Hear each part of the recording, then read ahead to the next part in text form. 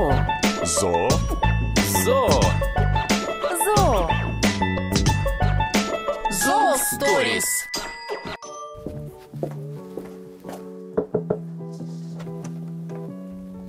Аню, привіт, рада бачити.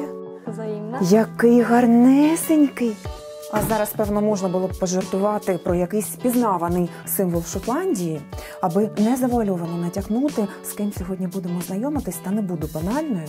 Тож представляйте ваших шотландських і таких красивих улюбленців. Вот одна из них. Эту малышку зовут Барби. Чтобы посмотреть остальных, проходи, будем знакомиться. У нас э, на данный момент три взрослых кошки и 10 малышей. Що ж, ходімо.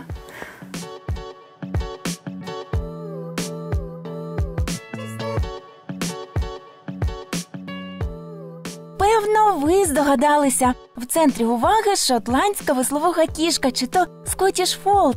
Чарівна зовнішність, доброзичливий характер і високий інтелект. Це про нас. Не менш промовиста й наша популярність. Входимо до десятки лідерів найулюбленіших котячих порід. Scottish Fold, скажіть, як давно займаєтесь породою і чому саме цією? Породой занимаемся с 2015 года. Наш питомник зарегистрирован в Финляндии. Первый раз увидев шотландскую кошку, не могли устоять перед ее грацией, э, благородством. Порода очень интересная, они и контактные, и общительные, но в то же время очень самодостаточные. Поэтому именно Scottish Fold. Щодо характеру, чи схожі вони на британців? А, Ну, это совсем разные породы, хотя э, у шотландцев в предках есть британцы, но это было давно. Нет, они, они разные. В принципе, британцы это более самодостаточные животные, они, в принципе, комфортно себя чувствуют и в одиночестве. А шотландцам же нужно больше общения. Э, Они Тобто любят вони- большие семьи, детей. Да. Більше орієнтовані на людину. да, да, да.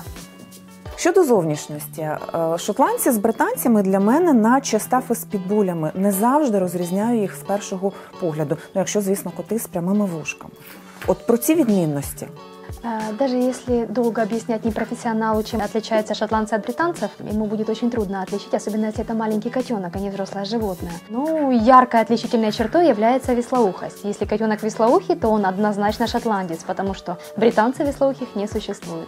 А якщо з прямими вушками, як С прямыми ушками, э, ну, изначально э, по экстерьеру э, у них разный костяк, э, разная форма туловища. А британцы э, более массивные, более тяжелые, у них ниже лапы, короче хвост. Шотландцы же, в свою очередь, э, более изящны, э, их хвост длиннее и выше лапы. По форме головы это также видно. У британцев э, широкие щеки, у шотландцев голова больше напоминает шар. А, м, Шотландцы похожи на сову, м, особенно если они веслоухие. А британці не схожі. І давайте по-чесному, як не розумієтеся на породах, відрізнити прямовухого британця від шотландця не зумієте. Найвірніший спосіб упевнитися родовід кошеняти. Про вуха. Загнуті це Scottish Fold, прямі це Scottish Straight. Розкажіть про цю особливість. Э, Изначально все э, котята скотиш э, рождаются со стоячими ушами. К 21 дню формируется загиб ушка, то есть ушки э, становятся фолдовыми. У каждого э, правильного шотландского веслоухого котенка э, имеется два гена, ген фолдовости и ген страйта. А, Правильно это имеется в виду, что а, котенок получен путем правильной вязки, э, путем правильного бридинга, э, то есть мама или папа, э, один из родителей фолд, второй из родителей страйт. А, Запрещено вязать двухфолдовых э, животных. Двухфолдовых это м, два животных с лежащими ушами. Если котенок получит два гена веслоухости, он будет болен, и вполне вероятно, что он будет не жильцом. А коли виживають, мають букет болячок. Обійдемось без складних термінів простою мовою. Це проблеми з суглобами, серцем, дихальною системою, кров'ю та перманентні інфекції. А от правильні шотландські коти на здоров'я не жаліються. Скажіть, оця, ну вибач, мутація в них природня? Вообще первые упоминания о шотландских кошках датируются м, еще 1885 годом. Вспоминали их еще в Китае, но только тогда их иначе называли, называли их китайскими. А, Дарвин о них вспоминал. Однако существует мнение, что основоположницей э, породы является кошка Сьюзи. Она родилась в 1961 году э, на шотландской ферме. Э, Эта кошка родилась с веслоухой.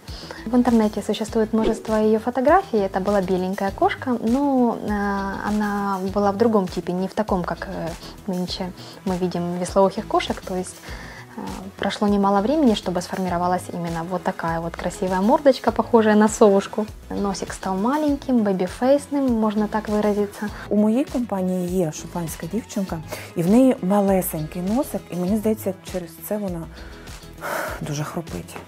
Ну, інколи навіть як чоловік. Їм притаманна взагалі ця звичка хропіти? Чи це через саме малесенький Нет, нет, носик? это именно из-за маленького носа. А, на самом деле такое бывает, когда к породе примешивают э, персидских котов, экстремальных.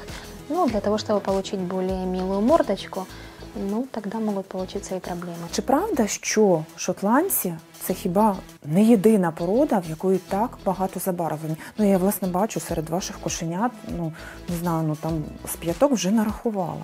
Ну, на самом деле, э, это генетика. А, Изначально окрас зак- закладывает и кошка-мать. Э, Вот кошка-мать у этих э, котят трехцветная, то есть у нее черепаховый окрас. Именно поэтому она дает совершенно любой спектр окрасов котят. Ну, на самом деле, у британцев тоже абсолютно любые окрасы могут быть. Тоді скажіть по назвам. Ну, на прикладі оцього хлопчика він мені найбільше сподобався, як називається його забарвлення. Шоколадный, пятнистый, серебристый этот мальчик. Чому шоколадний?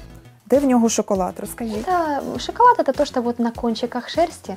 А на самом деле шоколад видно по подушечкам лап. На подушечках лап особенно видно, какой окрас котенка. То есть, если бы э, основной окрас был черный, то подушки лап были бы черные, как у его мамы. Як називається забарвлення цієї дівчини? Это кошечка голубокремовая черепашка. Є якесь найпопулярніше забарвлення? Яких кошенят найчастіше беруть? Среди покупателей, а, ну, почему-то вот именно, э, ну, Вот се- серый окрас, он ну, как бы выглядит как просто серый, но на самом деле это называется голубой окрас, да. А, однотонных голубых или же вот просто э, с каким-нибудь еще цветом, вот как, как эта голубокремовая девочка. Очень любят люди голубых котят. У вас є і з короткою шерстю, і з довгою. Это зависит от родителей. Шотландские коты и кошки бывают длинношерстные и короткошерстные. А, Вот один помет котят у нас длинношерстный, потому что оба родителя были длинношерстные. А во втором пом- помете, наоборот, все короткошерстные малыши. Вони такі гарненькі, неймовірно просто. Ми з вами познайомились на виставці. Вже й не згадаю, про що розпитувала вас тоді. Зараз поцікавлюся, про що найчастіше розпитують відвідувачі. Один из самых странных вопросов – это долларов или гривен. Подивіться на нас! Звісно ж, доларів! За конкретними цифрами вже до Ані. Очень часто спрашивают, какого цвета будут глаза у котенка. А, Очень часто интересуются размером, а, то есть мелкие или крупные. У каждого свой запрос. Кто-то хочет, чтобы животное не выросло слишком крупным, а кто-то хочет наоборот, чтобы было очень крупным. Вот, ну как бы м, тогда и подбираем подходящего. Додам кілька слів про наші красиві очі, про їхні кольори точніше. Так званий правильний у котиків цієї породи зазвичай коливається в діапазоні від зеленого до мідного чи коричневого. Якщо вірити спеціалістам, то колір очей залежить від забарвлення шерсті. А Люди часто хотят э, забрать котенка пораньше, М, говорят, что им хочется поиграть с малышом, порадоваться тому, какой он маленький, но это неправильно, потому что э, котята не зря растут до трех с половиной месяцев с кошкой-мамой а, в питомнике, а, так как, в принципе, у них формируется иммунитет. А, Происходит вакцинация, первая вакцина делается в два месяца, Ну, это все длительный процесс. И они продолжают есть молоко матери, а, которое дает иммуноглобулины и необходимо для правильного развития. А Также кошка-мама обучает малышей кошачьей грамоте. Она учит их прятать когти, э, не царапаться, пользоваться когтеточкой. Ходити до латуночка.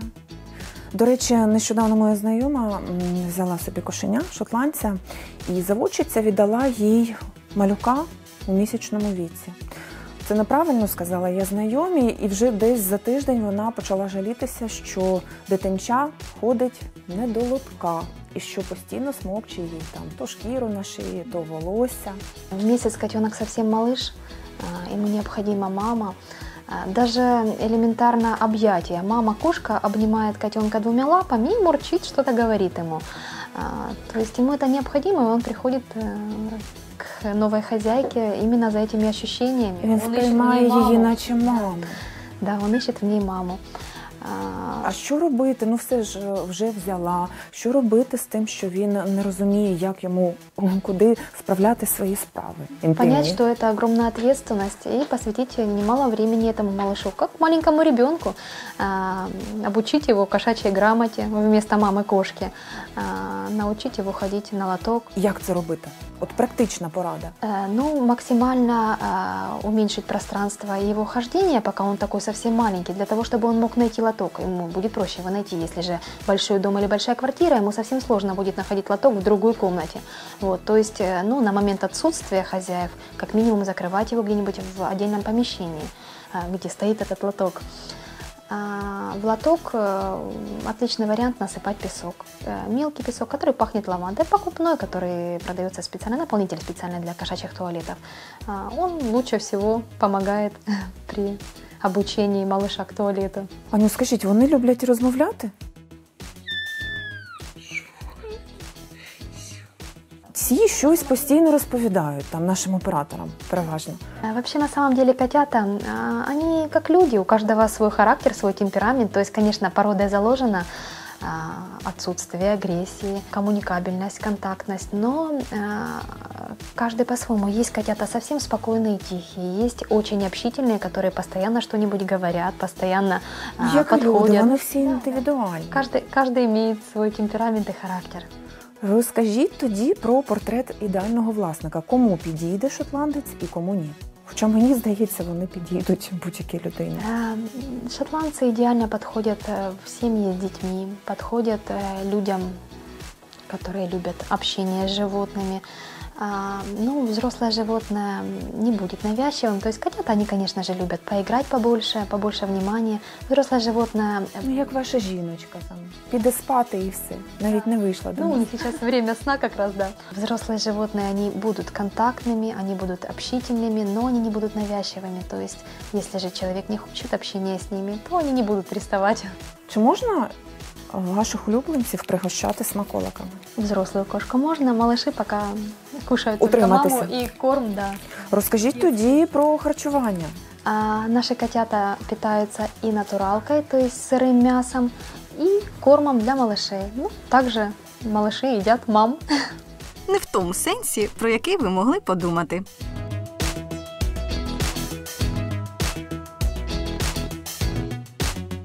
Аню, а в яких пропорціях даєте сухий корм та натуральний, скажімо? Сухой корм, он в своб- в свободном доступе у котят, потому что они растущие организмы, и каждый потребляет столько, сколько им нужно. А, а мясо даем порционно, ну, в зависимости от количества котят на данный момент и взрослых животных. Мясо сырое.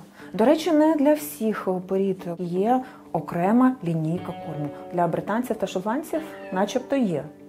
В чому відмінності? Да, м, ну, там необходимое количество микроэлементов э, именно для данной породы. Часто в линейке кормов для британцев и шотландцев добавляют э, хондропротекторы, то есть э, то, что помогает хрящевой ткани быть дольше здоровой и молодой.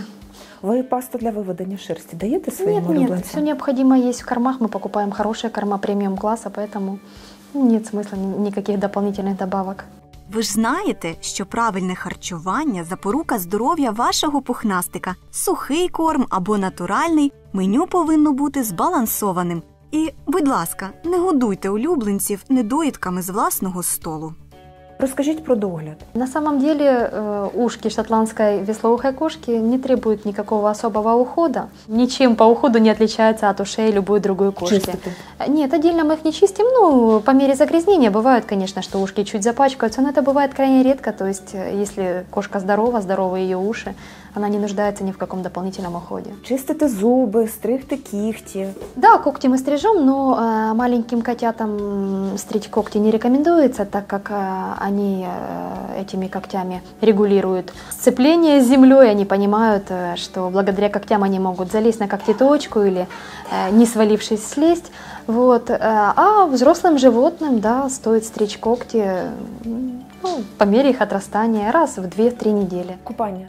Купання, вичісування, тим паче довгошерстих. Да, конечно, мы купаем кошек. Э, У нас э, премиальные серии э, шампуней, паст. э, А як часто ви вичісуєте їх?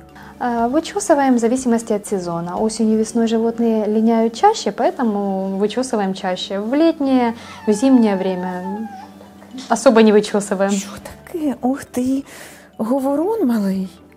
Та я ж хочу сказати, що поки ви базікаєте, малеча порядки наводить. До речі, тим, хто ніколи не мав котика та роздумує, аби завести, треба готуватися до наслідків його дитячої грайливості. Це дорослий шотландець, спокійний шотландець. Аню, оскільки ви живете у приватному будинку, у вас є подвір'я, чи ви пускаєте котиків гуляти? Да, взрослые наши кошки очень любят гулять во дворе, в особенности Дела. А, не в теплое время года она... Ложки. Нет, у нас обработан газон. В теплое время года она каждое утро первое, что делает, просится погулять во двор. Вона вже як та жінка, яку дратують власні діти, яким вже давно потрібно виїжджати з хати. Дела, може, аби ти заспокоїлася, ходімо на прогулянку? М? Залюбки. Тільки враховуйте, я на свіже повітря виходжу виключно у супроводі власників. Ви також відповідальні?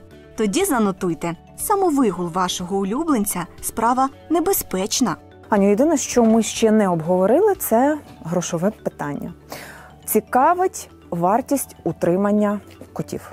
Э, У вас ну, їх багато? Да, на самом деле мы не высчитывали на одно животное стоимость содержания, потому что обычно или же несколько просто взрослых животных, или есть котята, то есть трудно сказать точную сумму, ну, не менее тысячи гривен, я думаю, однозначно. М, Тільки хотіла сказати, що ну, за досвідом спілкування з іншими заводчиками це десь тисяча півтори на одного Да, кота, Так и якщо есть. о, гарний корм. Да, это і... правильное питание, да, сбалансированное, качественные корма и мясо сырое, да. і, звісно, поцікавлюся вартістю представника породи. На самом деле стоимость зависит от множества факторов. В первую очередь от цели приобретения и качества животных. А, Ну, стоимость от 350 долларов в любимцы, а если в брит, то тогда стоимость будет э, порядка тысячи, Брід лишним. це розведення. Разведение, да. Найдорожча ціна, за яку ви продавали кошеня. 1200 евро. Ну, це не так вже й багато. Ну, такая же стоимость Делориан мамы котят. Переважно продаєте за кордон чи в Україні також багато беруть? А, Нет, в принципе, берут и в Украине, и за кордон. Но если говорить э, о загранице, то в большинстве своем это Америка. Шотландці тримають популярність вже багато років. Тенденції. Не спадає ця популярність? Нет, э, существует множество окрасов, множество э, типов. Э, Тип выводится, улучшается, поэтому, ну и ценители всегда остаются. Просто подивіться на мене ще разок. Також згадайте, скільки разів бачили скотіш фолдів в рекламі та кіно. А знаєте чому? Бо наша зовнішність суцільне замилування. Красуня. Залишається додати, що цю свою популярність ви здобули цілком заслужено. Як на мене, ваша порода одна з найкращих.